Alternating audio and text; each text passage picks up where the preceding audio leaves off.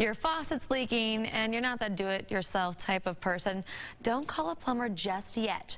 Krista Williamson is here to help, and she says a leaky faucet, well, it's an easy fix. We'll see how easy it is. What's the first step that we need to do?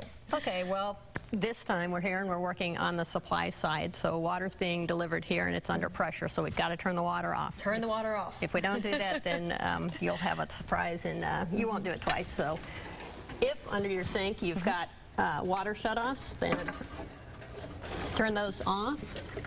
If you find that when you look under there you don't have shutoff valves, then you're going to have to turn off your main water valve. Mm -hmm. um, either way, you've got to uh, stop the water from coming to the faucet. Then go ahead and turn these on and get that last little bit of water out of here. Uh, the next thing I do is either stopper my drain or mm -hmm. just drop a little towel in there because there are a few small parts that are going to come out of these handles. Then you'll and have to work on yeah. getting that out of the We don't really want to make this project bigger than it was. So. Okay, what are the tools that you need? Okay, um, you're going to need a screwdriver and you will probably need some sort of adjustable wrench. And then these are tools that you may potentially need. This is a little putty knife that's going to help us get to the screw to remove this handle.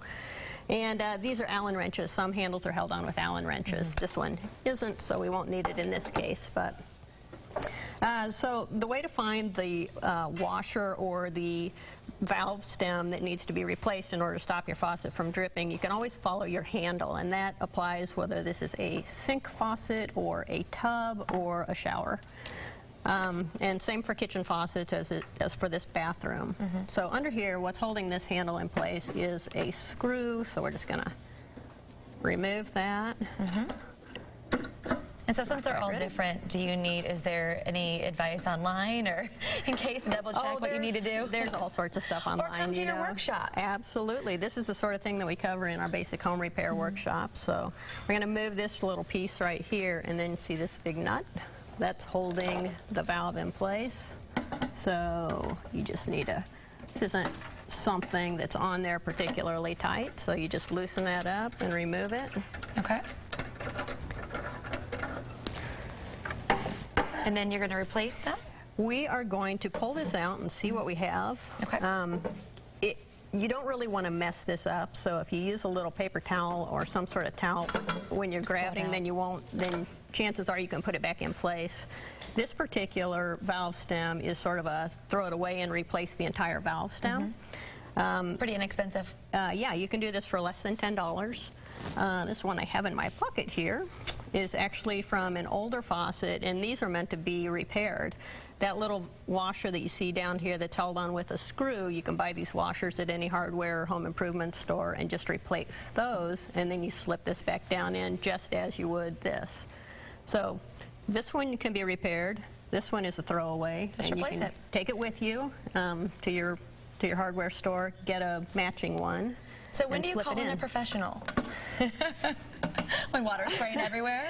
Yeah. You say, okay, um, I tried. I tried to do it myself, you know, I, I, have had, uh, I've had it where I haven't been able to repair it just because there's been so much corrosion in the faucet, mm -hmm. and um, so then it becomes, it's, it's not so much uh, calling in a professional as that, you know, you could potentially want to replace the faucet itself.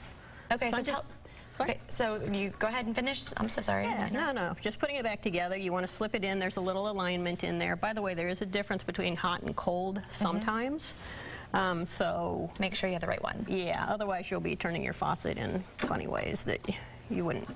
And there you go. You just fixed it in yeah. less than three minutes. Yeah, it's a very simple fix. Um, you know, it's a perfect fix for homeowners. Mm -hmm. And really quick, people can find you at your K2 workshops and, and, and get your help some hands-on help. We teach lots of things. We teach, uh, we've got an electrical workshop coming up this weekend. We teach tiling. We teach uh, just beginning projects like this and lots of other uh, specialized projects. So. Well, thank you for coming in and for sharing uh, this great do-it-yourself project.